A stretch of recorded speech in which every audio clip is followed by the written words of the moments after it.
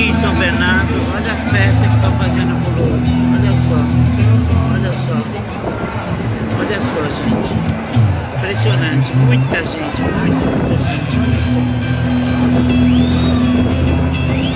Lula inocente, porque livre já está.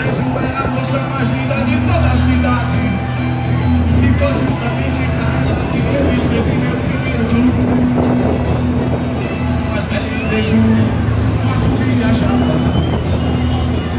Seus olhos azuis vão matar A